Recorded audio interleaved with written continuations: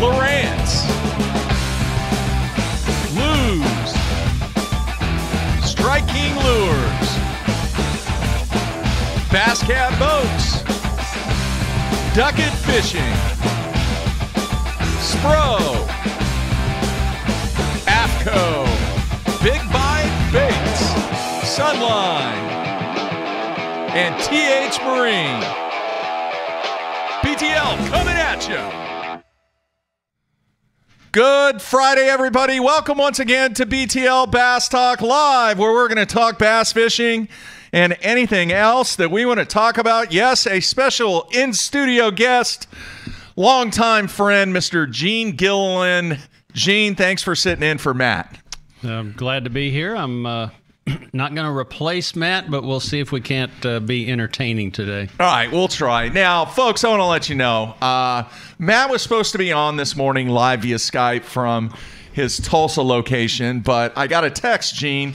I don't know, 5:36 in the morning, something like that, fairly early. And I guess his girlfriend's horse had some kind of issue and they had to do some kind of emergency surgery on the horse. So he is with his girlfriend and the horse this morning. So hopefully that works out okay. And these are like high dollar quarter horses. I think that's what they are. Yeah, I mean, yeah. they're rodeo horses. Yeah, so I yeah. think barrel racing horses Yeah. are quarter horses. Yeah, I think so, but I I don't know for sure. But but I know they're worth a lot of money. They're so worth a lot of money. right, and right, vet bills are not cheap. right. So uh, best of luck with that one. Hopefully everything will work out on that. So I thought it'd be a great idea. We're planning on doing as many shows as we can to try and get through uh, these very very challenging times. And Gene lives right here in Norman, Oklahoma. So I thought, hey, what a great way! If anybody out there has any questions from a fish management standpoint from uh, a, a fisheries biolog- biologist standpoint, a biology, whatever. You're going to take questions about anything, right, Gene? I'm I'm up for all of it. All right. Uh, couple of couple of things I want to let everybody know. Uh, I I have been working feverishly to try and line up guests over the next couple of weeks. And I'm kind of in a holding pattern because I am still waiting to see what the decision is going to be with Major League Fishing. Uh, right now, everything is a go uh, on the event that they have scheduled at Lake Jordan in Raleigh, North Carolina. Uh, but there, there is, I, I, I would say that there is a very uh, decent possibility that that event might possibly be canceled, especially now with the situation that developed out in California, where they've basically shut down the state of California. They want everybody. The governor came out and said, hey, do not go outside unless it is either this, this, or this. And there's a list of things that you can leave your house for. So uh, I, I just I don't know. I know some of the anglers from California actually went home, Gene, uh, during the break. So we're gonna wait and see. And and and if if that event is postponed, the next event is supposed to be right here in Oklahoma at Grand Lake.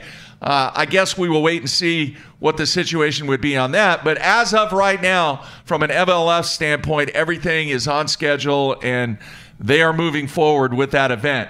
If that event does get postponed and rescheduled, then I will be doing everything I can to get as many people right here in studio to where you, the fans, can interact with these guys uh, here in the studio, of which we are coronavirus free. And I made sure, Gene, before you came in, I've got the uh, disinfectant Lysol wipes over there. I wiped everything down. I do it on a daily basis. I'm taking every precautionary measure to make sure that the BTL studio remains virus free. That's that's always comforting to know. And and, and we are social distancing here. Yes, We're- we are. We- you know, we're- that, uh, somebody I, I saw somewhere that from a fish in the fishing world, that's that's basically a rod length apart. So if you're two guys in a boat, and as long as you're not hitting each other with your rods, you're you're you're fine. Yeah. Yeah, so uh, I know I've received some emails from people. Uh, there was some information on the instant feedback yesterday, Gene. Uh, we kind of talked a little bit about it before the show. There are areas across the country that the the cities or the states are starting to shut down ramps Right. and and not allow people to go out and fish. Uh, what can you add on that? Do you have any information on that? Have you talked to some of your colleagues maybe across the uh, across the nation on the status of the ramps and stuff? You know, we I, I sent out a, an email to all of our Bass Nation conservation directors a few days ago, and, and just to kind of get a feel for what they're seeing in their states, and and it varies across the country as far as who's who's shut down and who's open. Um, the, the, a lot of the municipalities are following their state or their governor's orders and basically closing things. Uh, sometimes it's just the visitor centers and the, the, the, public access areas like boat ramps are still staying open. Uh, the Corps of Engineers uh, is kind of leaving it up to each of the individual districts. For example, our, our region, the region headquarters for our area is actually in Dallas, but that includes the Tulsa district, the Fort Worth district, Galveston, uh, most of Texas, Oklahoma. And, and they're leaving it up to the local office, uh, in this case, our Tulsa district here in Oklahoma. And and so they're like most Corps districts they're closing their public offices and places where the public could come and interact with staff but they're leaving the boat ramps uh, open now some places they're closing bathrooms uh, so it, it's uh, you know you got you maybe have, have access to the lake but the other facilities and the other amenities that are there might be closed so it's just kind of a, case by case basis and I I think as as this thing progresses, I've got a feeling we will probably see more restrictions and more closures. Uh, but it's going to be a case by case basis, and I think anybody that decides, well, I'm gonna I'm gonna practice my social distancing and my my self quarantine, and I'm going to do it in my boat, probably need to check ahead before they make a any kind of a distance drive to somewhere to to try to put a boat in the water just to make sure that those facilities are still open. All right. I know here in Oklahoma, I made some phone calls yesterday to see uh, what was open. I talked to Ed Barton.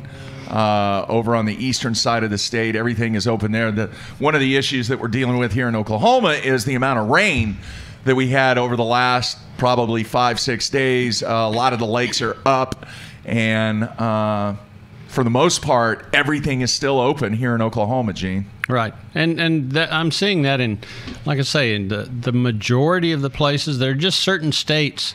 Uh, I believe Illinois. Uh, basically, the governor said close it all.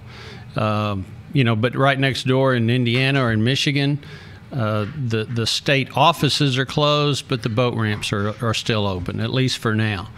Um, the one thing that, that concerns me a little bit is when the government has said, you know, they don't want people getting together in groups of more than at first it was 500 then it went to 100 then it went to 50 and now they're saying 10 people at a time and, and you look at some pictures on on social media of, of a boat ramp at Guntersville yesterday and there's a 100 boats there oh wow um, you know people are going fishing and uh, the weather's good. It's that time of year. The the, the bass are biting.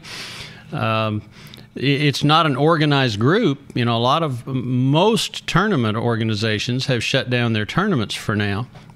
But it's just it's still a pretty large gathering of a lot of people, and I'm a little concerned that at some point the the authorities might look at that and say, "Whoa, this this is too many people at one place at one time, and we're going to have to do something about it." I don't know that that's going to happen, but that kind of in the back of my mind, that's one of the things I thought about. All right. Well, uh, you know, sometimes in this situation, this challenging situation they were in, uh, you know, a few hours on the water, two, three hours, go out, try and catch some fish might be just, you know, the thing that people need to to relax and and and not think about everything that that everybody is dealing with right now. So. Uh, you know, I spoke to a gentleman with a tackle manufacturer yesterday, and I said, I just flat out asked him, I go, what's the impact right now? And he goes, quite honestly, from an online standpoint, he goes, things are okay. Uh, people are still buying things online. But at the same time, Gene, this is the time of the year that people do what? It's probably one of the highest purchasing times Right. that this industry has, you know, in March and April. So. Uh, I I just uh, it, it, it could be a little bit skewed, obvi- obviously, but uh, maybe if people can get out there and and do a little fishing and, and try and relax a little bit, that maybe that's the right thing to do. Well, you know, the all, all the medical folks say that if you are less stressed, you are less susceptible to disease. Yeah. And you know, I, I can't think of very many other ways that are any better than getting out on the water and going fishing to to calm down and and de-stress. Um, Yeah. You know, when we got back from the classic, uh, when's that been? A week and a half ago now. Um, a couple of days at home, I, I was ready to go fishing, and I, I took advantage of one of these pretty spring days that we had, and, and got out on the water and and just by myself, got in my little mini boat, went down to my little lake in southern Oklahoma, and caught the fool out of them. Really? And and uh, you know, but it was it was one of those kind of days that uh, that really helped me kind of settle down from the whole craziness of the Bassmaster Classic week, and kind of put into perspective what's ahead of us. All right, I, let's talk a little bit about the classic because I think that's uh, uh, it, it is a a very uh, demanding job for for you and your staff when you have that many miles that you're traveling back and forth to the lake. Uh, kind of tell us a little bit about how the classic went for you guys from a a fish care standpoint, from a, a, a catch and release standpoint, and uh, was this did everything pretty much go as planned? It did. Um, you know, the for uh, uh, many many years, I can't think back how far. Anytime that we have a, a Bassmaster Classic weigh-in that is many miles away from where the fish are being caught, we have to transport those fish to and from the lake. And the number one question we get, absolutely far and away, is Are the fish going home? And the, the local anglers want to know are their fish coming back to their lake? And, and we always tell them, yes, that's, you know, we're just borrowing them for the day. and uh, in this case, uh, we, we partnered with the Alabama Freshwater Fisheries Division. Uh, they provided fish hauling trucks. You know, the anglers brought the fish from Guntersville to Birmingham in their live wells. It's about a 90 mile drive. Once we got to the to the arena and the fish got weighed, they were put in the fish hauling trucks that the Alabama DNR provided. They then took those fish overnight and took them to one of their fish hatcheries where they could observe them and make sure they were healthy. And then after they collected all the fish from all three days worth of weigh-ins, they took them back to Guntersville. Huh. Of the 520 fish that were weighed in uh, at the tournament, 515 went home. Wow. So we only lost five fish out of over 500. So it's less than 1% of the fish that, that died that didn't go back to the lake. And by them holding those fish for a few days, they were able to observe those and, and they culled out a couple of fish that they thought, well, these might not make it. So they they were very cautious about uh, not releasing anything that they didn't think was going to survive. So we feel pretty good about those numbers. And and to be honest, that's kind of been the trend with most of the classics we've had in the past. That we've had 95 to 100 percent uh, release rates, and you know a lot of that a is because the anglers are fishing for a lot of money. They don't want dead fish, so they take care of their fish. Two, in this time of year, the water's still cold. The water was 52 degrees. And that makes a huge difference on the, the amount of stress on those fish and the fact that they can survive coming in, being weighed, and then taken back to the lake. So, all in all, it, it worked out very well, and uh, we were pretty pleased with the results. Very nice. Very nice. Uh, were you surprised? One of the things that Matt and I talked about that uh, obviously Guntersville being Guntersville, but there was only one angler, Hank Cherry, the guy that won it, that averaged 20 pounds a day? Was it just a matter of all the the the water levels and and the weather do you think that obviously had Yeah. something to do with it or do you do you believe and feel that Guntersville is still one of the greatest fisheries in the US No, I I do. Guntersville is, is obviously one of those top producers, has been for years. Uh, the habitat is still good. There's a lot of vegetation. Uh, what what a lot of people, unless they've really kind of been paying attention to the situation, don't realize is the amount of water that's been going down the Tennessee River for months and months and months. And that high flow, um, you know, we, we wound up having to, to cancel one of our tournaments at Chickamauga because of flooding, which just upstream from Guntersville. Yeah. And and so a lot of that water uh, had had muddied things up.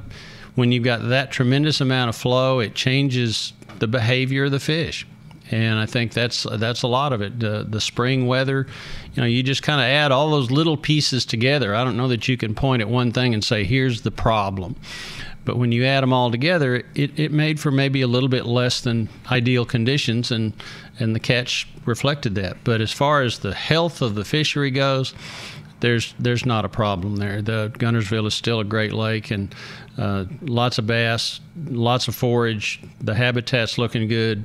Um, I, I think there's still still potential there.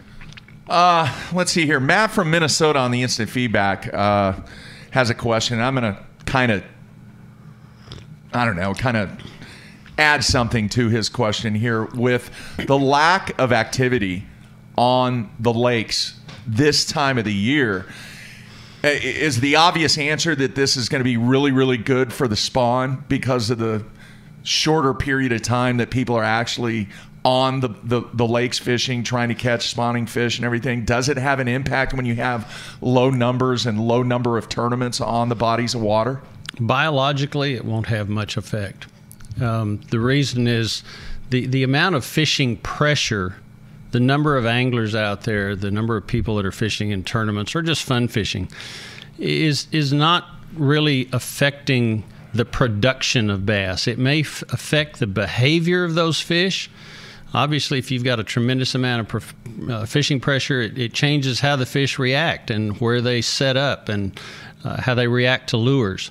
But in terms of them going through their spawning processes and the number of baby bass that are produced uh, in the springtime, it's really not going to have that big of an impact in terms of you know a lot more bass being produced. It's it's really more that idea of you've got potentially weeks or months where the fish are not being pressured and and it changes their behavior. And and I think in some respects they probably become less wary. So when fishing does resume uh, any kind of numbers of people start going back to the lakes it's not exactly like a new lake situation where the fish are just dumb as rocks, but but you know I, I think it will probably make make for some good fishing when when fishing does kind of resume because they haven't been pressured and harassed as much during the springtime as they might in a, in a normal year. All right, I want to pick your brain right now because one of the cool things that you've been able to do over your career is the shock boat and the experience that you've had, i- you know, over the years. Uh, going down the bank and, and actually shocking up fish to get uh, data on what you shock up.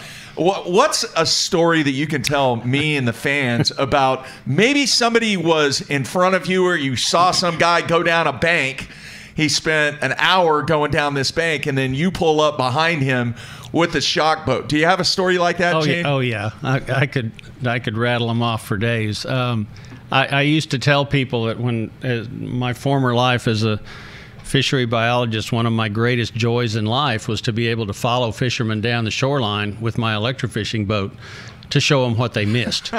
um, and and any number of times on lakes here in Oklahoma, we were able to do that sort of thing. And sometimes the anglers would, would see us coming and they'd just kind of back up off the bank and let, let us go by, and, and so they could just watch and see what we were turning up.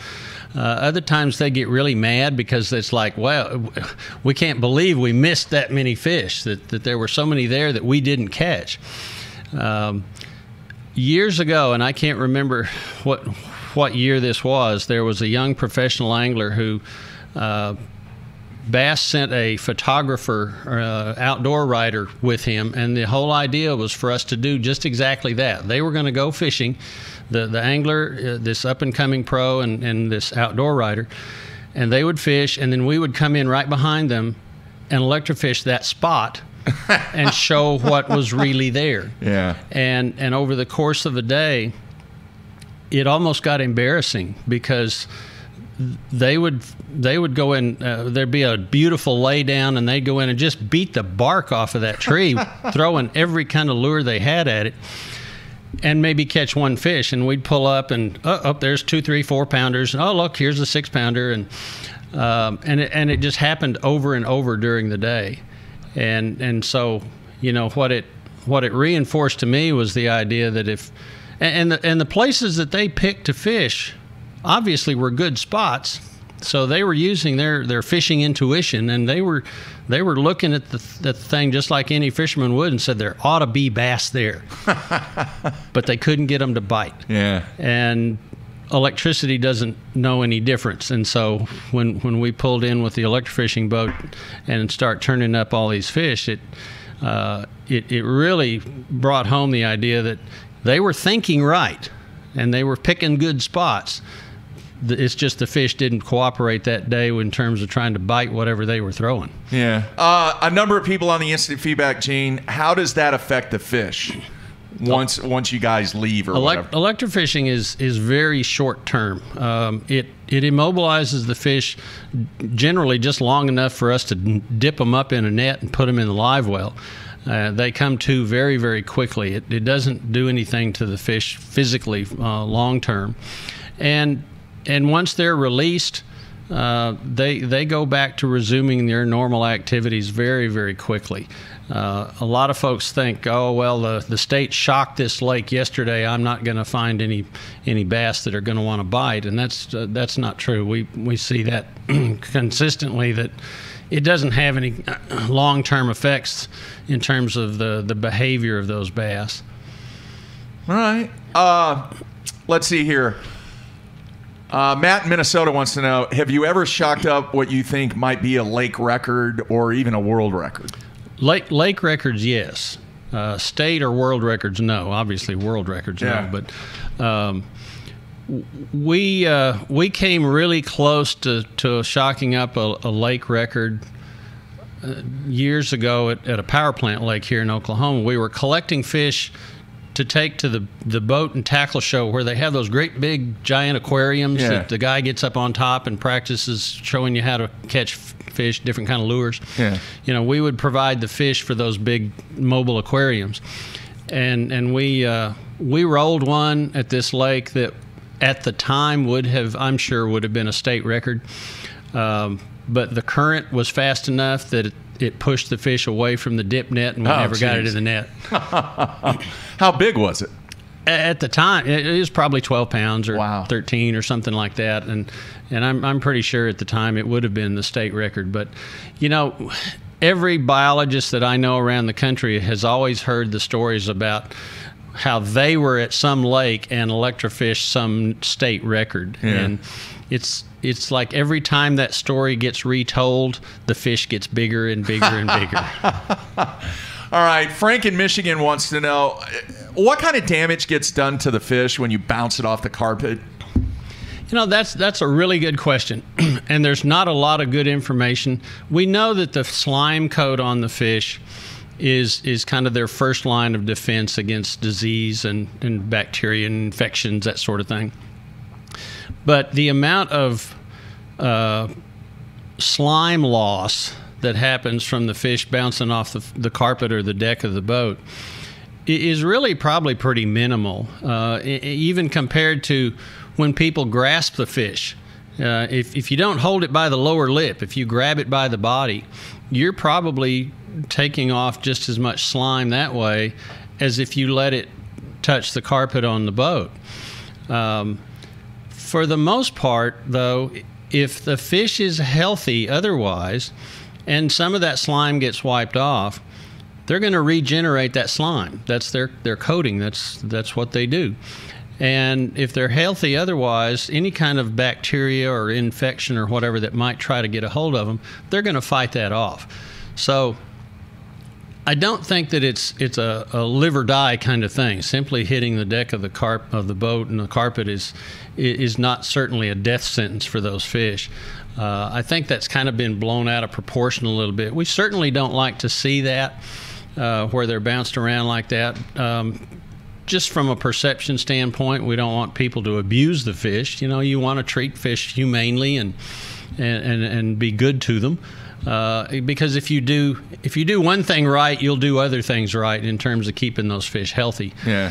But uh, you know there there really hasn't been a lot of detailed study to, to prove that that one way or another is is better. Now, the use of landing nets.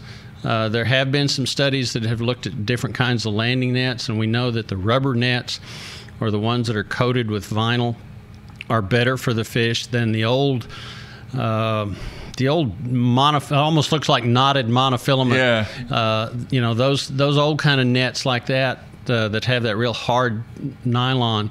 They do tend to remove a lot of slime when that fish is kind of wiggling and flopping around in the net, and and those kind of nets we know can be more detrimental than uh, say a rubber or a coated net. All right, Jason Wilson wants to know uh, because of catch and release, do you think that the health of some fisheries suffer because of overpopulation? Definitely, absolutely. Um, and my company, Bass, BASS, has has you know kind of started the whole catch and release movement back in the 70s with with black bass, and I, I think it has been oversold in some cases, and biologists across the country will agree that there are many instances when harvesting fish is the right thing to do. And and what we've always tried to try to promote is the idea of selective harvest. There are times when catch and release is very important, especially with larger, older fish that are more rare. But in a lot of cases, if you don't harvest the smaller bass, you wind up with an overpopulation. You wind up with too many mouths to feed and not enough food to go around, and the growth slows way down. And at some point, you wind up with a whole lot of little bass and very few that get bigger because they just can't grow fast enough to get into those larger sizes. Yeah. I mean, the, the, whole idea was slot length limits. Everybody thinks slot length limits are the answer. Oh, put a slot limit on my lake, and it's going to be the greatest thing since sliced bread. The problem is, with a slot limit, you've got to harvest those smaller fish under the slot for it to work. And if people don't keep fish in, in any kind of numbers, a slot limit doesn't fix anything. Yeah. All right, Scott from Indy wants to know cull tags. You know, they made the switch to where it wasn't like the stringer type Yep. where you put a hole Yep. in the fish's mouth to the clip. Right. But uh, if there's some organizations out there that still allow the the what stringer rings rather than the clip rings, Mm-hmm. does that really do a whole lot of damage to the fish? And how quickly do they heal from that? The uh, at, at our Bass Conservation Summit at the Classic, we actually had a presentation on this. Uh, Florida Fish and Wildlife Commission was doing a study in in a hatchery situation where they looked at all of the different kinds of culling clips, and if a penetrating the, the, the safety pin type clip, if it's applied correctly, the hole that it leaves in the bass's mouth is not very big and heals up rather quickly in a matter of days or weeks. The problem becomes when they're not installed correctly and it tears a big gash in the membranes in, in, in the fish's mouth. Those big slices and gashes don't heal up uh, sometimes at all. And those fish have, they may not die from it, but their breathing and their feeding can be affected. Because a bass to feed effectively they suck in their food. Well if there's a hole in their mouth it it kind of messes up that vacuum process and they can't they can't feed as effectively. And they also can't breathe as effectively and so generally what we've seen over the years is that fish that have those big gashes in their in their under their gullets and in their throat uh, are thinner. They're they're they're in poorer condition. Uh, like I say, they've they've survived, but they're not thriving. So that was the whole impetus to try to go to the non-penetrating or the clamp-on type culling clips. There has been a lot of concern with those now, though, that they're they press too hard they they squeeze too tight on the tissue and that irritates the fish so they're constantly shaking and trying to get rid of them or that it actually can cause like bruising. Uh, and so there's there's a lot of a lot of the different companies that make those kind of culling clips have redesigned them. They're they're coming out with different models that that don't that lock on but don't squeeze as hard. And so I think it's kind of an evolving process uh, the the penetrating style uh, bass and, and a lot of other tournament groups decided uh, to to not allow those anymore. Um, in favor of the clamp-ons, the the clamp-on style I think are still evolving, and I think there's probably some room for improvement in all of that to to make sure that that the fish are, are handled correctly. The other thing that either way, when people yank them out of the live well using the culling clips, and put all the weight of that clip of the fish on those clips, that's not good on either one of them. The whole the whole idea we try to stress is is simply use the culling rope to lead the fish to the surface of the live well and then grasp it by the lower jaw. Stick your thumb in his mouth and pick them up that way. Yeah. And not just yank a whole bunch of them out of the live well at once uh, by the ropes, because that's what causes the tears and the the extra strain on the mouth and the ligaments and joints and all that. All right, good stuff. All right, we're gonna take a break, come back, and uh, we're gonna we're gonna pick Gene's brain from Gene being the fan instead of the fisheries biologist. All right, coming back at you, everybody. Stay tuned. We'll be right back.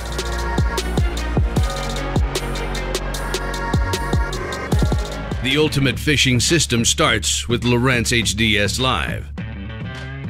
Upgrade to HDS Live with a Ghost trolling motor, live sight transducer, or Structure Scan 3D, and get up to $500 cash back. Yeah, you care about gear ratios, inches per turn, and ball bearings, but most importantly, you want reliability and dependability in the equipment you use. Lew's doesn't cut corners when it comes to the gear they build. The new Speed Spool LFS is the best $99 reel in the market. Go see for yourself.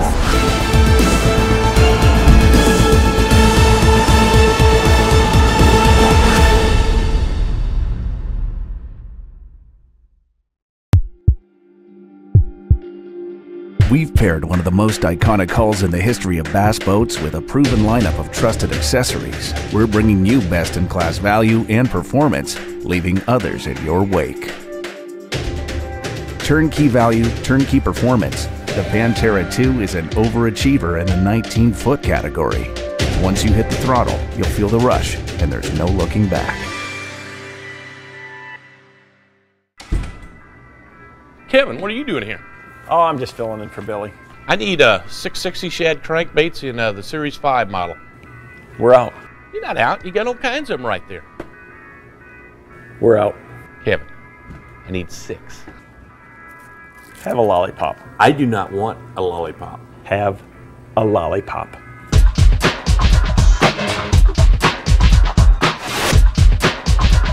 Do you have it in sexy shad color? At Duckett Fishing, we have assembled the top pros in the country to help us design rods to give you a competitive advantage. Castability, strength, durability, action, sensitivity, weight and balance, and consistency. Combine that with the best warranty in the industry, and you have rods that are pro driven. Duckett Fishing, pro driven. I want to share to you a new product we got coming out from Sunline. This is the FC leader size spools that we have now. Um, we've gotten a lot of requests for this. A lot of you guys use fluorocarbon for leaders only, myself included. And one of the problems you have is when you have a 200 yard spool, that might last you two, three, four years. You might even lose it before you even get done with the spool. So we've gone to a little smaller spool. These are 50 yard spool sizes. You know, that way you're not holding your line on forever. You can keep your line fresh, use it when you can, stores real easily in the boat. We got all of our popular line sizes that you're used to with our sniper from 5 to 14 pound. If you guys are looking for a line that you're only tying for a leader, go check out Sunline FC Leader 100% fluorocarbon and give it a try.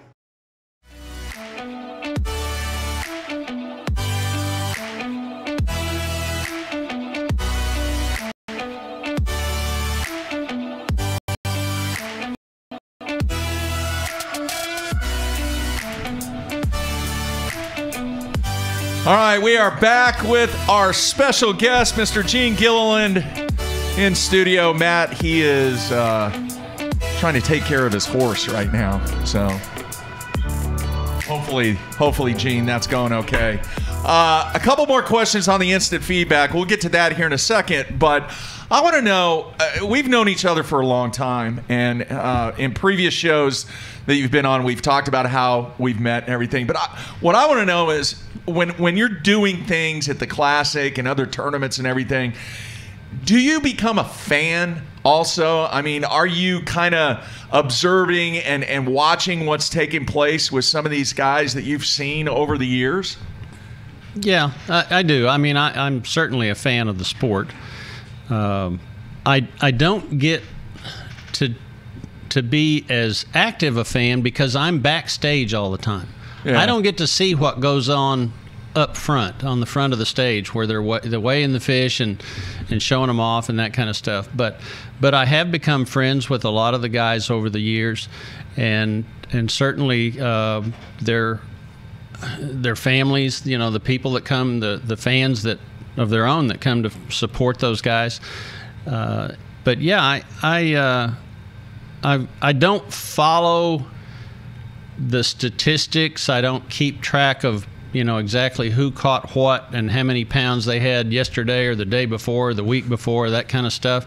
You know, like a lot of people do with with sports statistics. Yeah.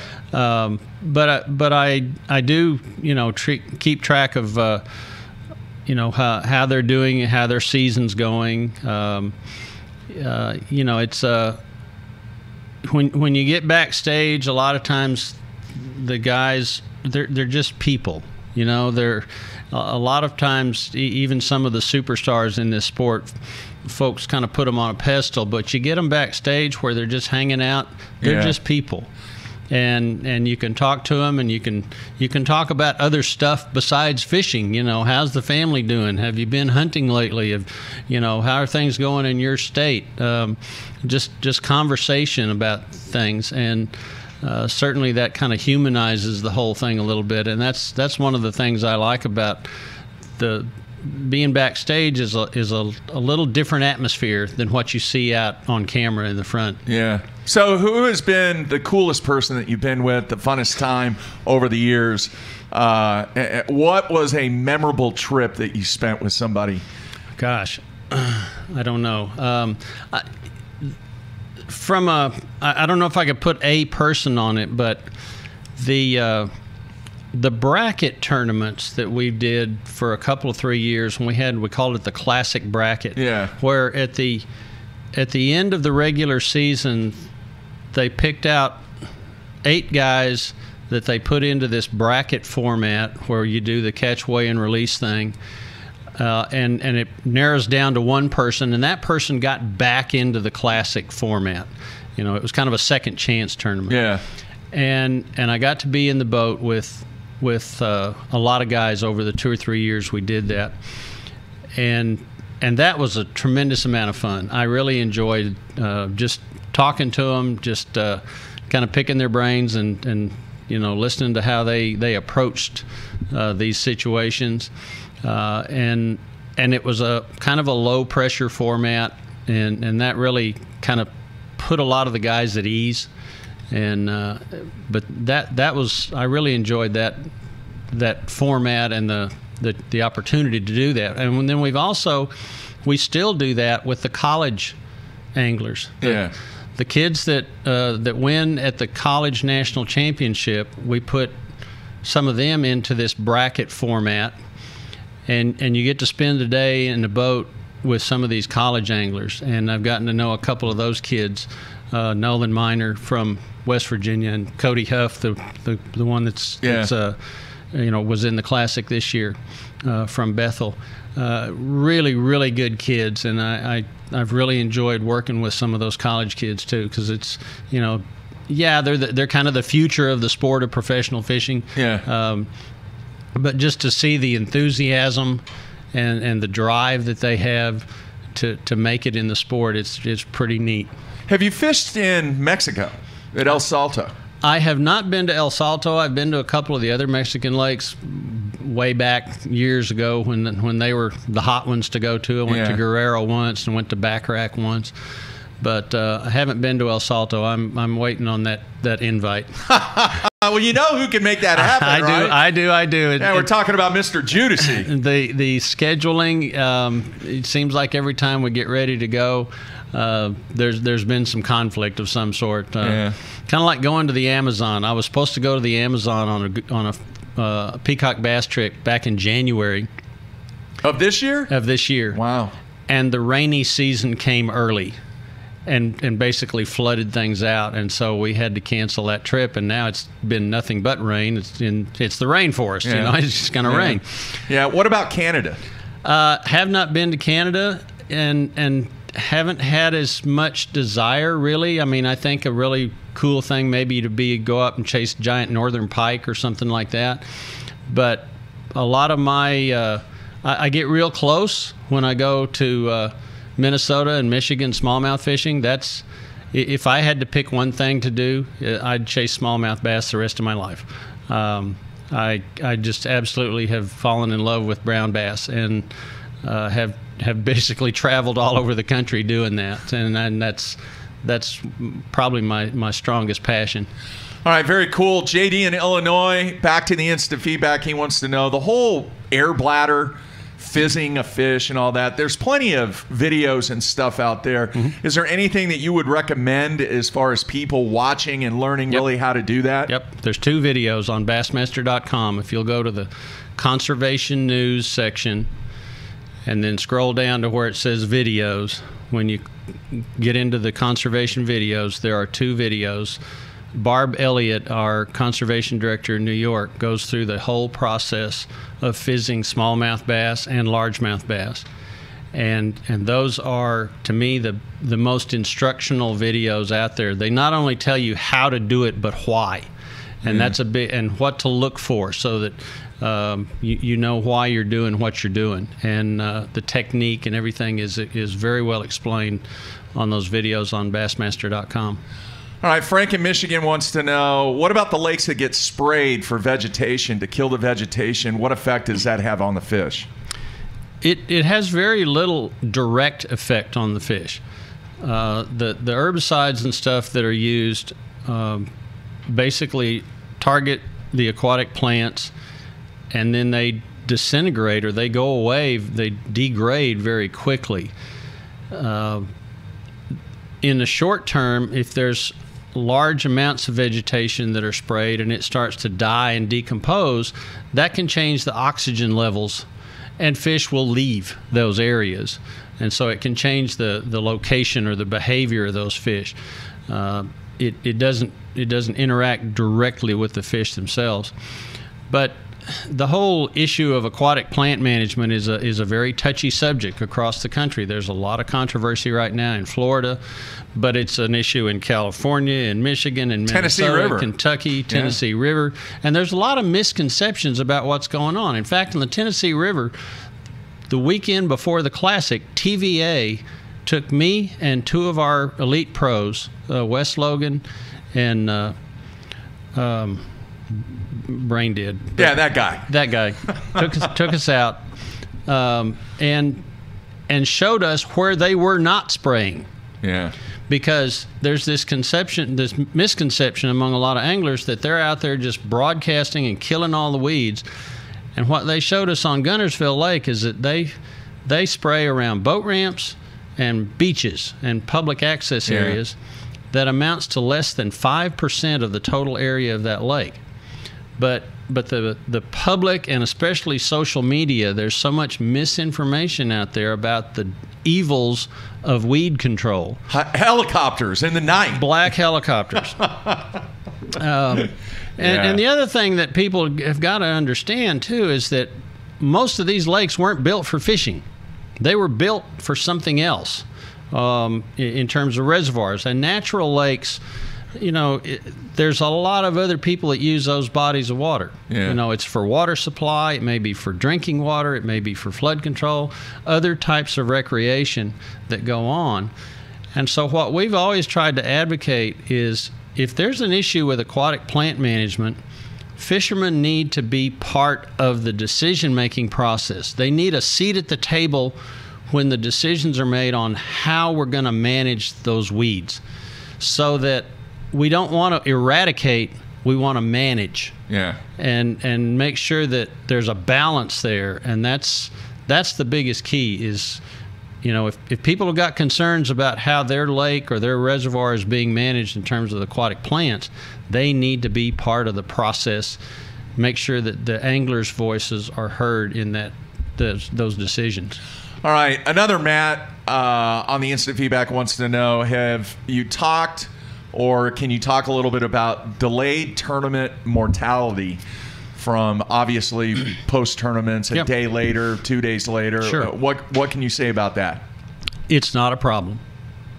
And delayed mortality is certainly there. We know that if you look at all bass tournaments across all seasons, in all kind of conditions, yes, bass are going to die because of bass tournaments.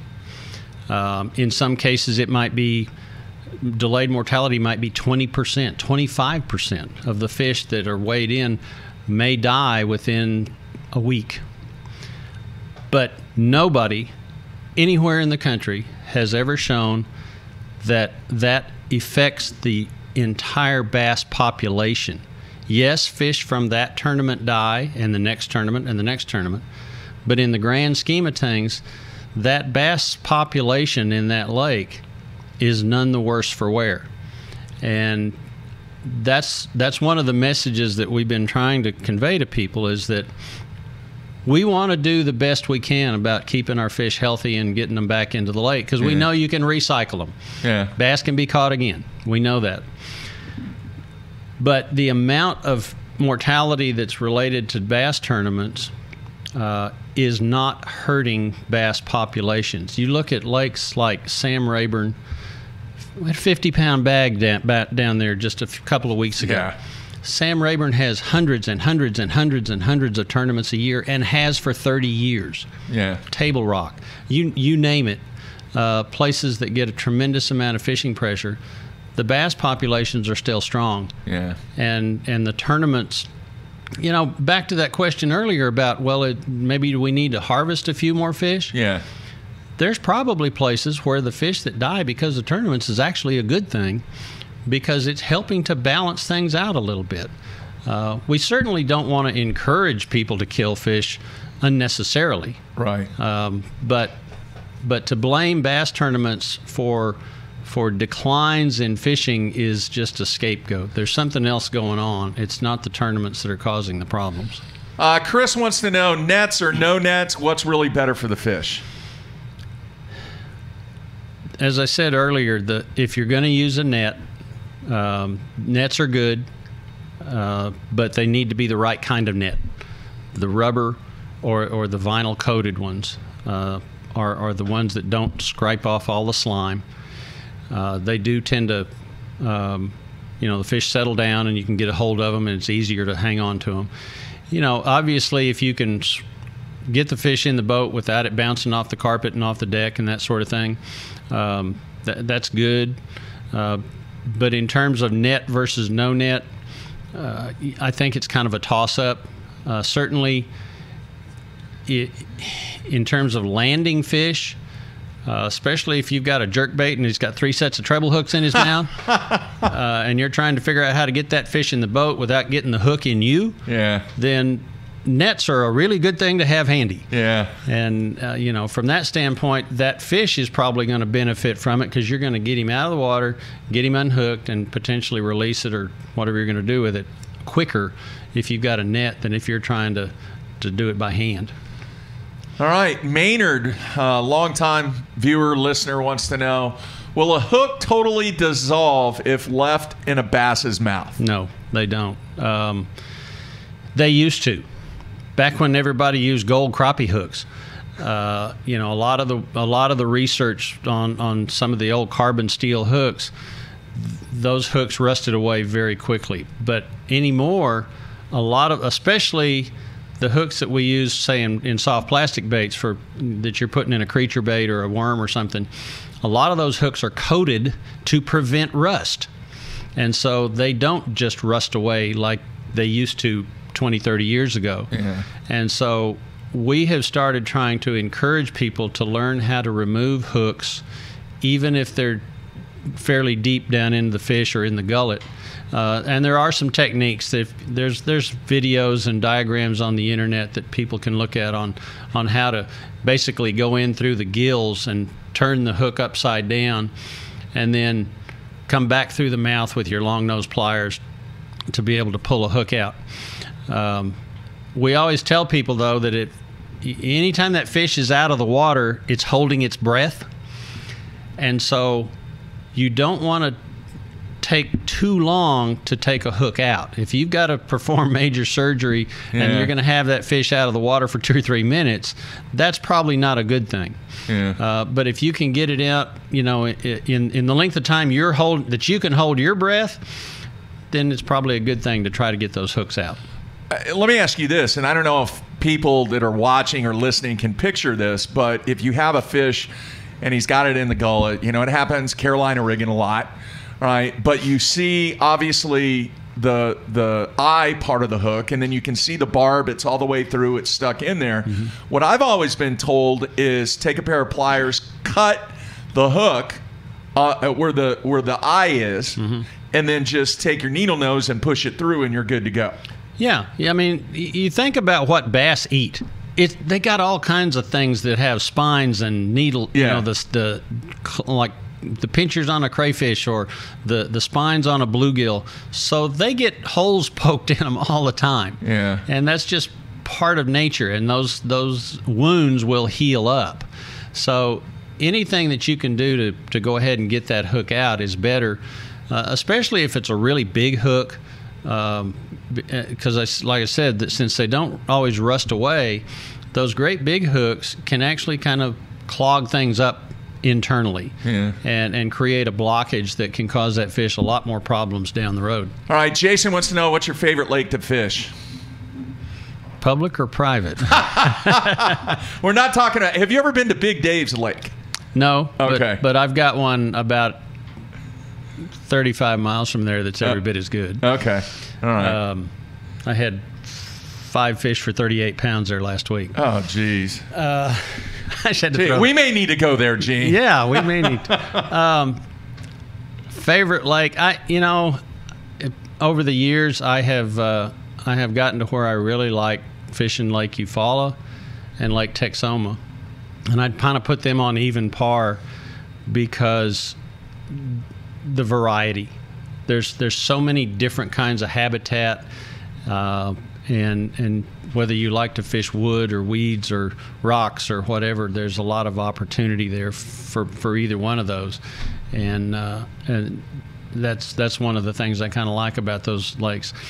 You know, if I had to pick one lake in Oklahoma that I probably had more success on than anyway, it'd have to be Sardis. Uh, I've, I've caught more and bigger fish at Sardis than just about anywhere in the Wow. state.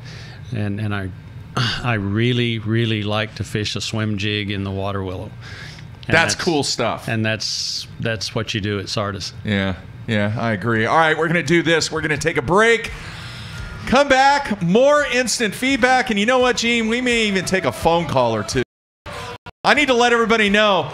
We will let you know on Monday who are the winners of the prize pack that both Matt and I were giving away from yesterday's Sunline Hotline show. So we'll do that on Monday. Uh, I didn't get a chance to talk to Matt, so I don't know who he was going to pick. So we'll wait till Monday. All right, short break coming back with Gene Gilliland. Everybody stay tuned. We'll be right back.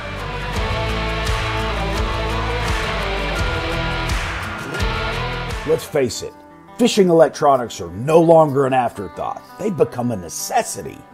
And at the Bass Tank, our experts match you with the right electronics, provide professional installation, and educate you to help maximize your catching results while providing support along the way. because let's be honest, it's about catching, not just fishing. And when you're ready for better results, join the Bass Tank team. Visit us today on Facebook or go to thebasstank.com. Blue Water by TH Marine. Offering LED lighting solutions for your boat, trailer, truck, ATV, and so much more. Engineered and built to be rugged with waterproof and submersible options. Designed for easy installation, Blue Water is available in a variety of colors and styles. All backed by a limited lifetime warranty. Blue Water by TH Marine.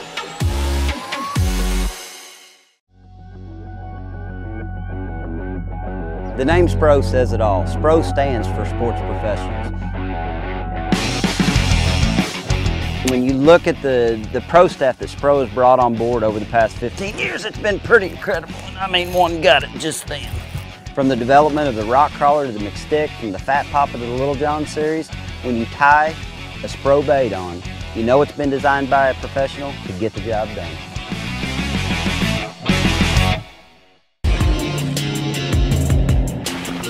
While I travel the country on the Bassmaster Elite Series, I simply can't let the weather be the reason I don't win $100,000. That's why I use AFTCO clothing to keep me warm, dry, and protected from whatever Mother Nature wants to throw at me.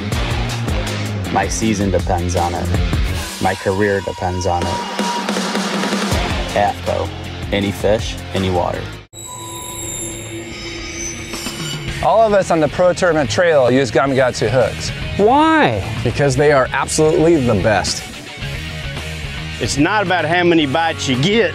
It's how many you put in the boat. Gamakatsu makes hooks for every fishing style. We didn't come this far to lose fish. Did you? For more information, visit gamakatsu.com.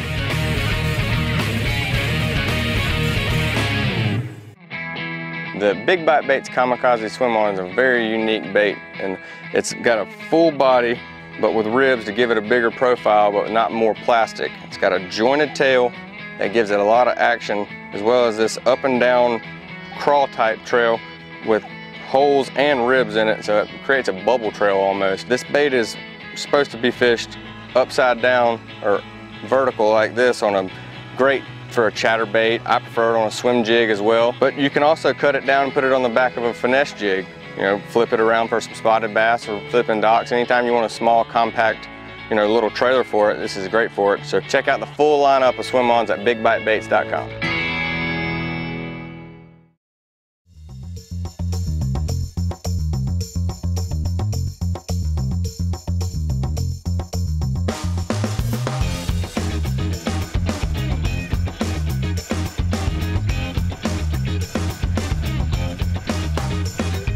right, we are back closing out the week. It is Friday, folks.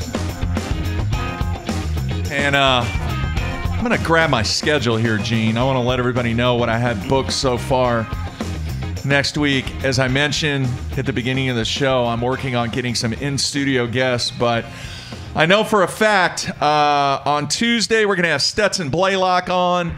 Uh, he will not be in studio, but we will have him on. Uh, Chris Zaldain is going to make the trip up from Fort Worth. He's going to be in studio on April 1st.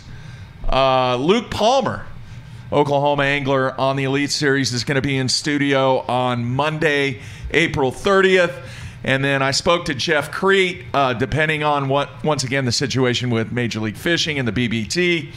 Uh, Crete will be making an appearance in studio over the next couple of weeks, and I will continue to work on trying to get guests lined up uh, for this period of time. Like I said, we're going to try and do either four or five shows a week uh, during this period, and hopefully we are bringing uh, really good information and some entertainment value to the people out there, to our fan base that we've uh, really worked hard to build up, and hopefully uh, we continue doing the three E's. You know what the three E's are? Entertain, educate, and engage when it comes to the anglers, the fans, and obviously the sponsors that make this thing happen. So Let me write. Let me write that down. Three. E's. the three E's. That's that's kind of how I run my business and, and, and have run my business Good for a long time. philosophy. Good philosophy. All right, let's go back to the instant feedback, and then we may take a phone call or two if uh, we have somebody that wants to call in and give us a story or anything like that.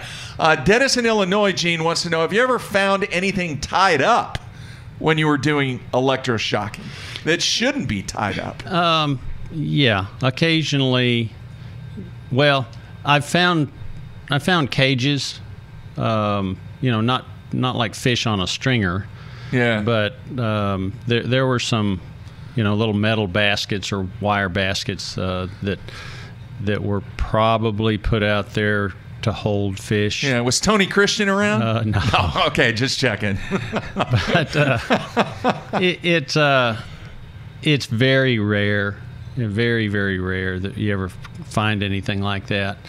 Um, and in fact, most of the ones that I recall seeing were, uh, you know, rusted up and like been there a while. Been there a while. It's not not like there was something going on really that was any kind of illegal activity. Uh, I, I think those sort of things you know, with social media and all these days, it kind of gets blown out of proportion. I think the, the percentage of people that are trying to to do something illegal in, in fishing tournaments is is incredibly small percentage, Right. and and uh, uh, it's just you know the media grabs a hold of it and kind of blows it up. Yeah. But there are people out there like that, Gene. Yeah, there are. well, you know, it, I mean, it's it's it's uh, w- when there's money involved, and Yeah. when the money gets bigger and bigger, and and especially when the the organization may be growing very quickly and they don't have a lot of controls in place. Yeah. it it makes things a little more. A Yeah. little easier to do things like that. You know, I've said this. Uh, last year was the 20th anniversary of the whole Tony Christian situation with the cages and and that whole situation that went down. And I've said numerous times, uh, I have really tried to find Tony Christian because I would love to do a 20 feet deep documentary on that whole situation. So if there's anybody out there listening that knows where Tony Christian is, uh, please shoot me an email, mark at bassound.com. I have I have talked to numerous people that I thought that would come in contact. I, I think he's obviously totally removed from fishing. People, if you don't know what I'm talking about, uh, all you got to do is go out and Google Tony Christian, and uh, not a whole lot of information out there, but there is a little bit. But would be I I feel that if Tony was willing to finally talk about it, would be a very very compelling 20 feet deep. So there you have it, folks. Tony Christian. I'm looking for him. If anybody knows where he is. Please send me an email, mark at bassone.com. All right, Matt Minnesota wants to know what's your personal best smallmouth and largemouth? Uh, largemouth is uh, 10-8. Where at? You remember? 10 that was uh, Lake Thunderbird here in Norman. What century was that? It was the it was Black Friday uh, about I don't know it's probably been close to 10 years ago now. And Wow. there were only two boats on the lake that day. Me and Matt Pangrak. and I didn't have a camera. remember that. I didn't have a camera Yeah, and I caught yeah. this fish and and I and I, uh, I I frantically was trying to find somebody that could take a picture of it. And here's Matt down there fishing by the dam, and Matt helped me weigh it and take a picture of it, and it was like two ounces off the lake record. Wow. Uh, biggest smallmouth was six twelve, um, Lake St. Clair. Nice. Uh, about uh, three years ago. Very nice. All right, Dave in Texas wants to know: Is there kind of up and coming interest from some of the collegiate anglers, maybe, uh, in in becoming fisheries biologists? Uh, a little bit. I, I wouldn't say it's it's real. Most of them are getting into you know marketing degrees and that sort of thing. Yeah. There are a couple of them. Uh, Nolan Miner that I mentioned from West Virginia. He's actually getting a degree in, in wildlife and fisheries at West Virginia. Uh, there, there's a few of them. You know, I, I think, uh, I think the ones that are that are looking into that sort of thing, it's it's like, well, my goal is to be a professional angler, and if that doesn't work out, then I've got this other thing that I can Yeah, that fall I can back on. fall back on. Yeah. All right. Uh, let's see here. Bruce wants to know when shocking fish up, has anything come up that really shocked you?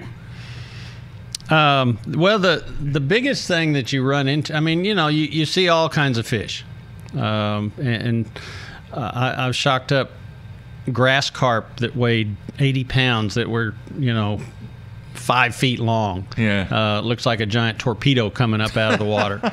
uh, the the thing that really to most people that that have done much electrofishing that that probably causes them more uh, startling uh, than anything is when you run across a beaver.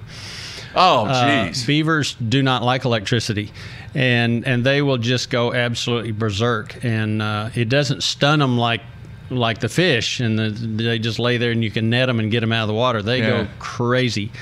And and uh, certainly you get you get off the foot pedal and turn the juice off as soon as you see one, but it can be uh, just like a an explosion in front of the boat when you run across a beaver. How about giant koi, where people have put koi fish in the lake or anything? Koi and gold, goldfish, um, yeah, you know, you'll see, uh, and they're pretty obvious, you know, because they're so brightly colored for the most part. Uh, you kind of wonder how come.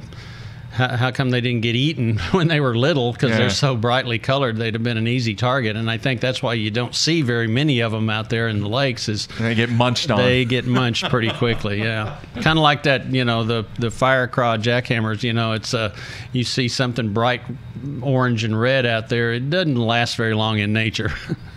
Yeah. All right. Uh, number of people on the instant feedback. Have you been involved at all with the Asian carp situation on Yeah. Kentucky Lake? Intimately, yes. Um, Bass has been very involved in trying to promote the uh, the work that's going on in the Asian carp situation, not just Kentucky Lake, but the the whole the whole Mississippi River drainage. It's not just Kentucky Lake. That's kind of where it blew up a couple of three years ago when when fish were jumping in the boats on camera.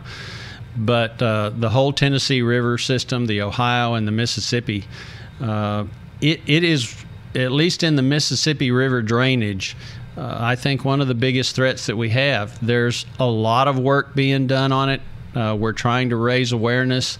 And the main thing that we're trying to do right now is get people to recognize this is a really big problem and they need to contact their senators and representatives in Washington and get money directed to this problem so that it doesn't become bigger and bigger and bigger. And, uh, you know, as much as people don't like it, the, the political side of things is where we're going to make the progress. And, and that all boils down to dollars. And the state agencies don't have enough dollars. So it's going to have to come from Congress to make a real impact there.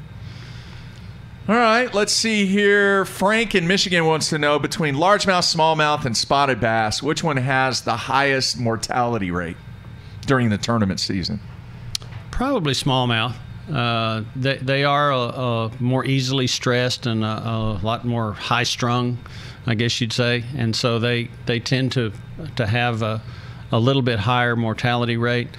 The the flip side of that is that if tournaments are run in cooler times of the year, then it it's kind of a wash. Yeah. Um, and and so you know that's one of the things that we've always tried to do at Bass is as our season progresses, we tend to go north. Uh, as it as as uh, summer progresses, you you obviously you- know when the water temperatures are 85 and 90 degrees in in Alabama, that's not a good time to be having a lot of tournaments. Um, whereas up north, where the water temperature might still be in the 60s, Yeah. uh, it's, it's going to be more comfortable and less stressful on the fish. All right. Uh, Jason wants to know: Is there a lake that you wish that bass would go to, and for whatever reason, bass hasn't went to? Columbia River. Uh, I, I would love for In Washington? In Washington State. Well, they've had an open there or Yeah. a, a western. Ba- and Bass Nation stuff, Yeah. you know, out there. But I, Yeah. I, from an elite standpoint, I would, I, I wish we would go west, but it just the the logistics and the expense is just has been prohibitive. Um, but I, I think that would do two things. One is that it would really shine a light on, on what a tremendous smallmouth fishery they have out west. And two, it would help give us some ammunition to fight the anti bass forces in the Pacific Northwest. Yeah. You know, everything out there is so salmon and trout focused uh, that the, the warm water species like, like bass and walleye kind of get kicked to the curb. And to be able to showcase that kind of fishery and, and put some economic impact numbers out there to show that, hey, these fish are really worth something, I think that would really be a valuable thing we could do.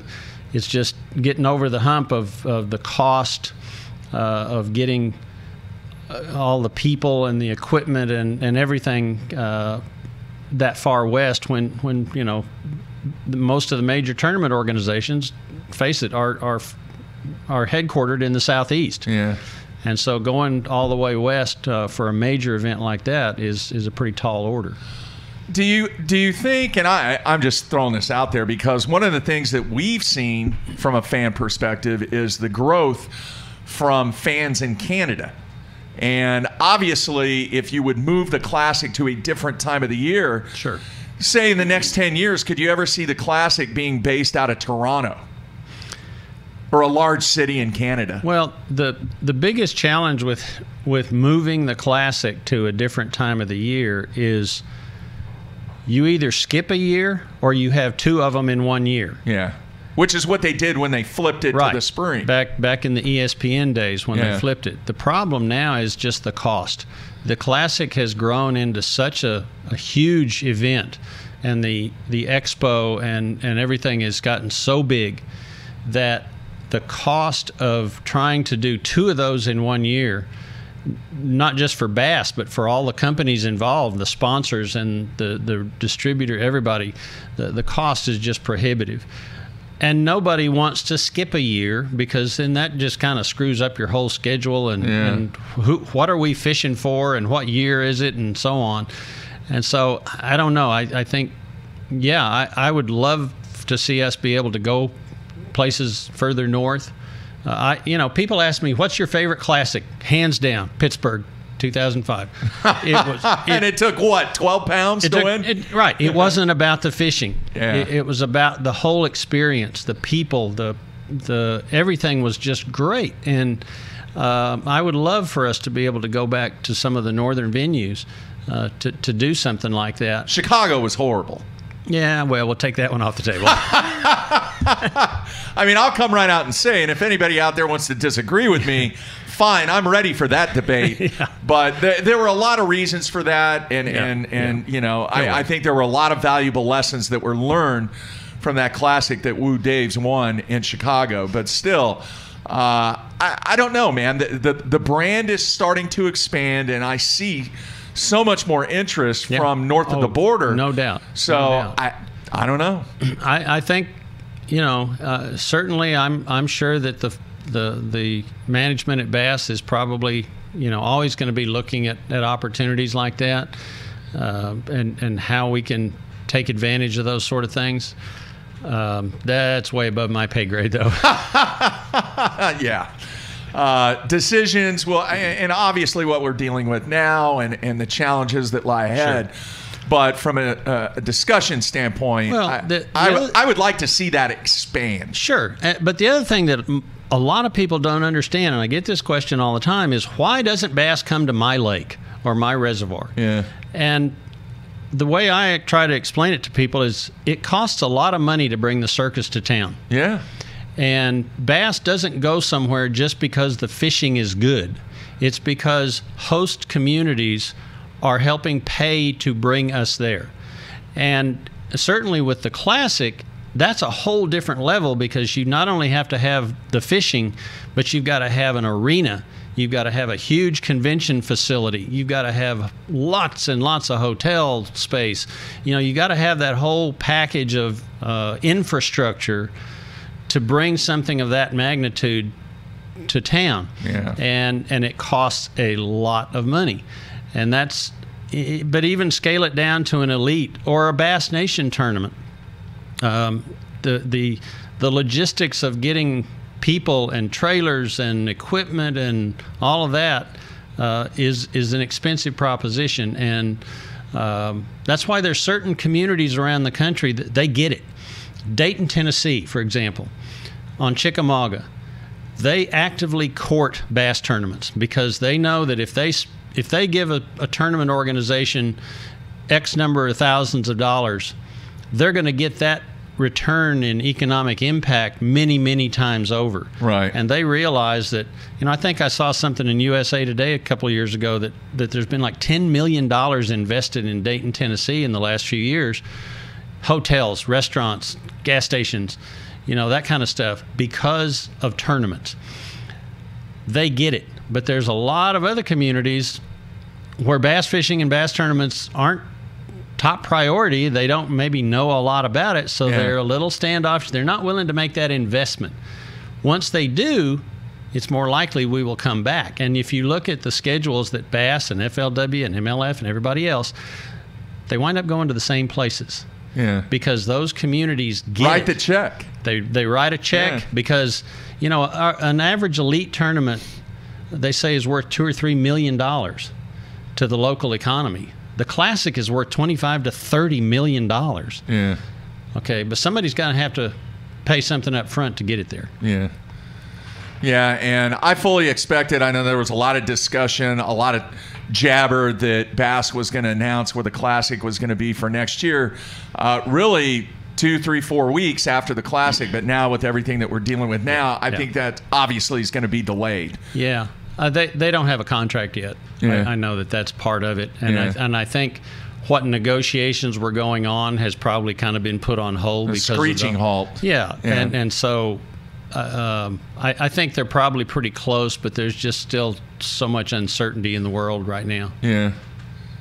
Yep. Uh, let's see here. Frank wants to know Do you think on certain bodies of water that using live bait has an impact on the fish? Not not negatively. Um, the the studies that have been done on live bait versus artificial bait. Yeah. Um, there's there's a slightly more mortality from live bait, but typically the people that use a lot of live bait are harvesting those fish anyway, and so and, the percentage of people that use live bait uh, for the most part is not as high, at least in the bass fishing world. Yeah. And so it, it's it's a perception thing. You know, uh, a lot of bass fishermen see some guy carrying a string or a bass home, and they think, "Oh my gosh, they're they're raping our lake." and and in, in reality, when you look at the the, the overall numbers, Yeah. um, it, it's not having that much of an impact. All right, Berger in Alabama, he had a question about the TVA, but how I'm going to address that is we are going to have the guy that is in charge of all the aquatic vegetation for the TVA on this show in April. All right, and I don't have the guy's name in front of me. David Brewster? Man, I Or- can't remember. He was he was at the classic. Okay. Uh, might be, but I, I cannot recall his name. But I talked to him.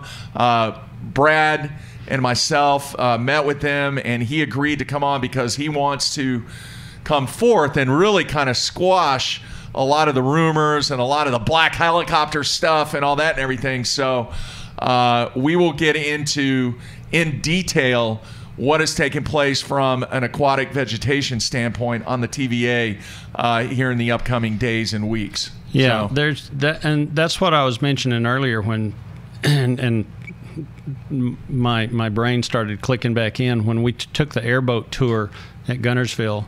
Uh, Buddy Gross was the other uh, Bass Elite Pro that There went with us. Buddy from uh, from Tennessee, and Wes Logan from Alabama, and uh, th- that was the whole idea. Was they wanted to show a couple of our pro anglers, look, TVA is not decimating the vegetation. Yeah. And and uh, and say we're we're not the bad guys here.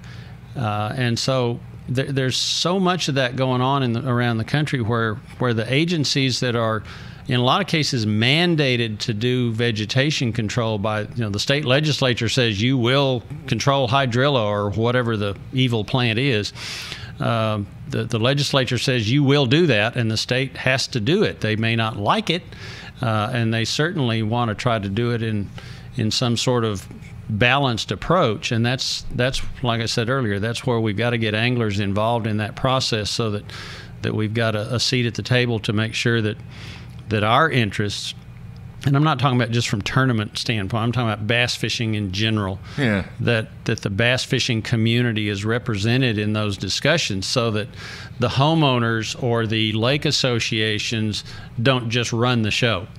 Uh, because that's that's kind of what has happened in a lot of places where things have gone south on us, is the fishermen didn't have a voice, and so what the government hears from are the squeaky wheels the the homeowners, the lake associations, the marinas, and so that that's what they do is they try to cater to those people, and and we've got to get anglers have got to be more organized and more involved in that process. Yeah.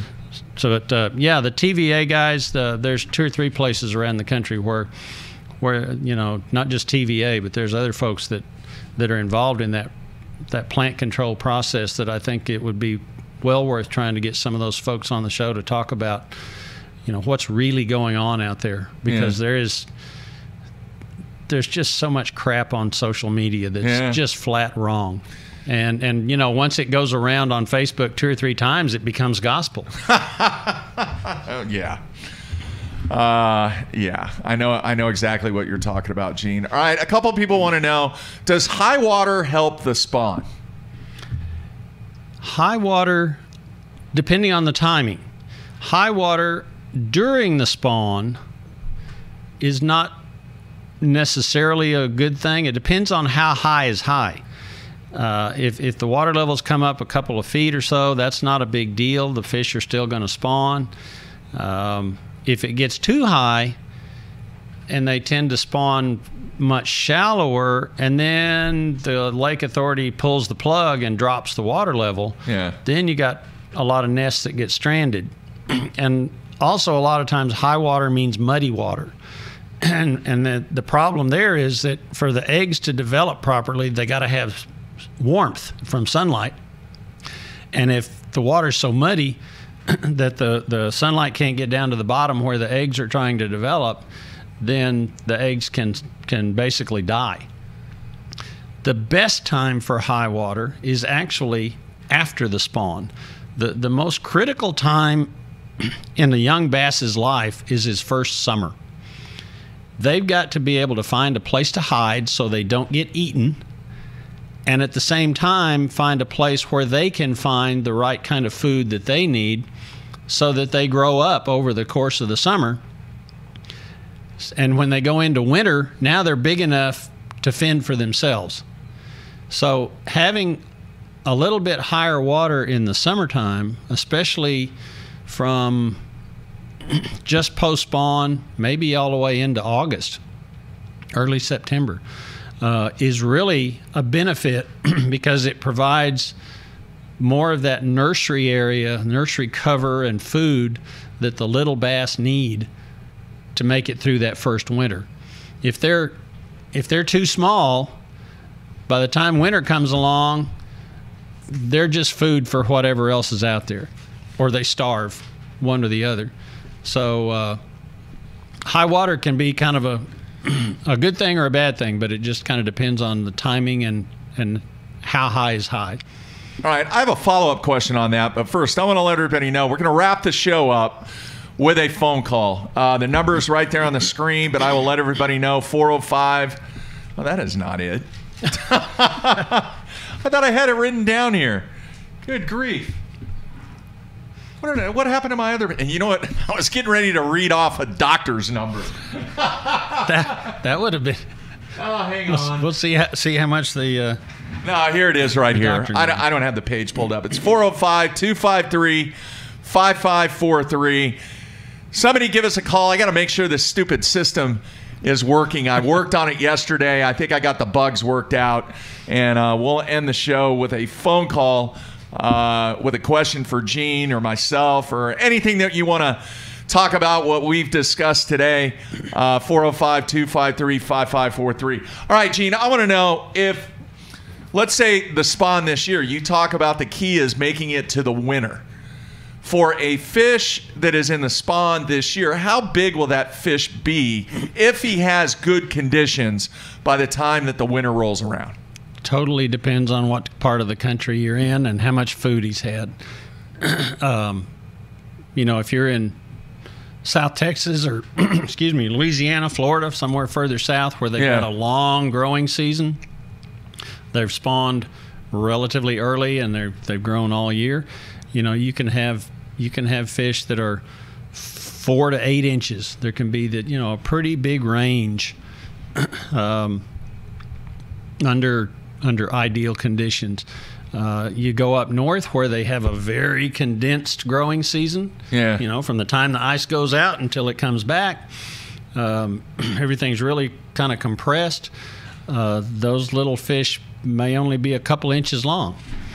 Um, so it, it just a lot of it just depends on on uh, latitude as much as anything, what Right. part of the country you're in, and and what the ideal conditions are. Obviously, smallmouth, uh, spotted bass, largemouth, they all grow at a little bit different rates.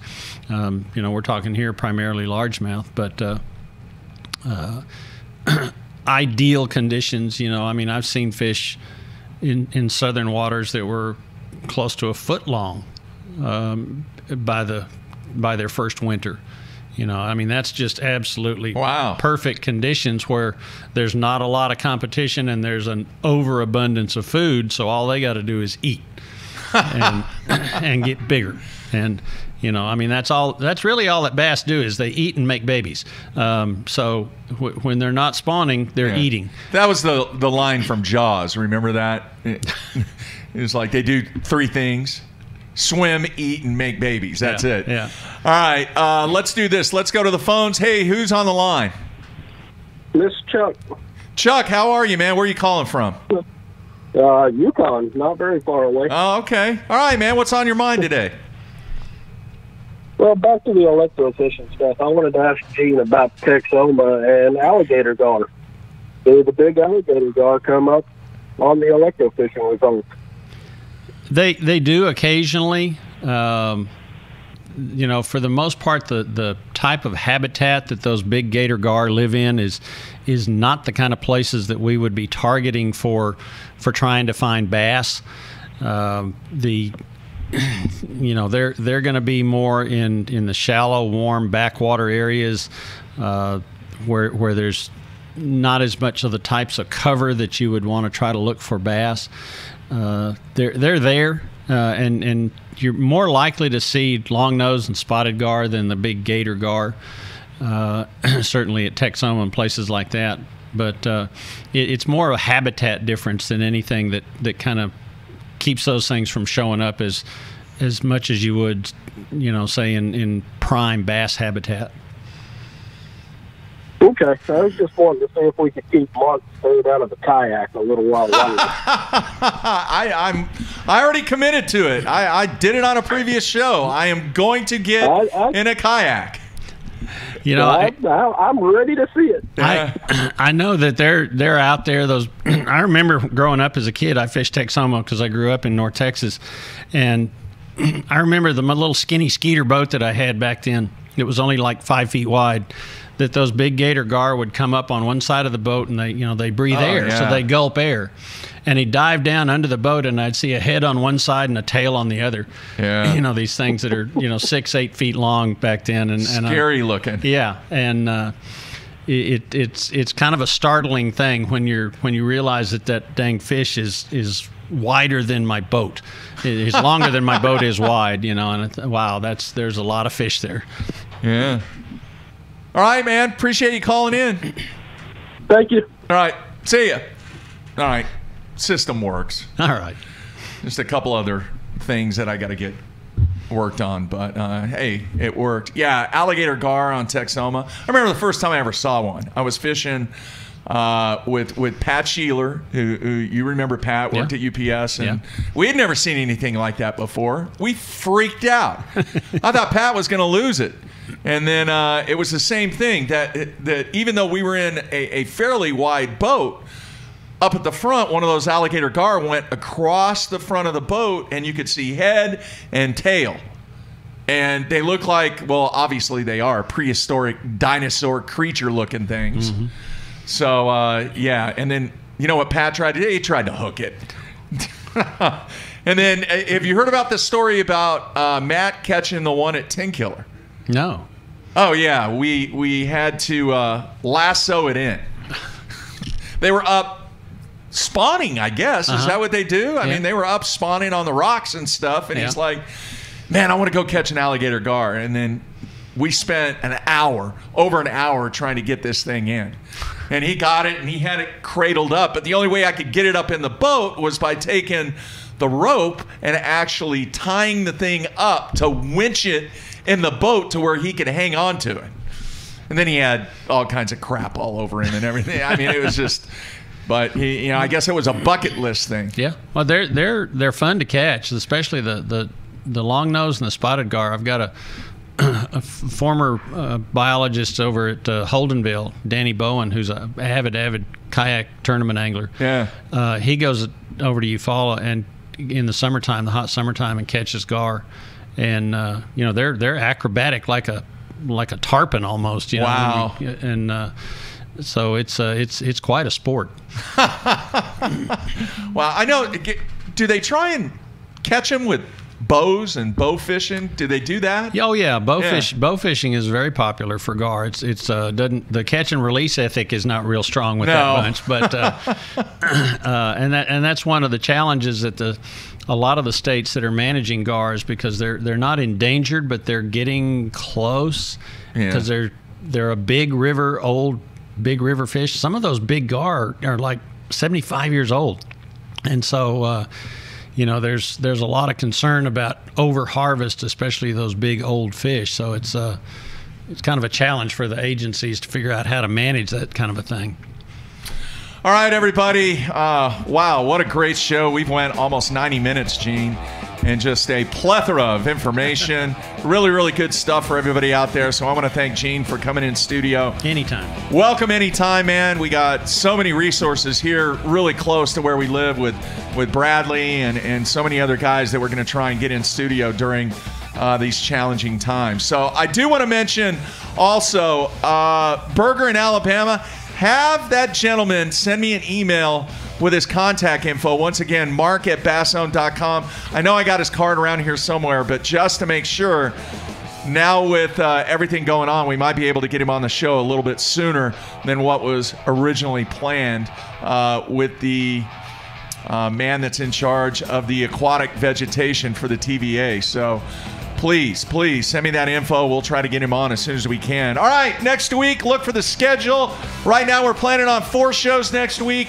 Uh, Stetson Blaylock, and I will be working on other people for that show. Wednesday, I believe we're going to have Hank Cherry on, uh, the Bassmaster Classic champion, and then I will fill up the remainder of the week, everybody. Please hang in there. Everybody be safe. That's it. We're out of here.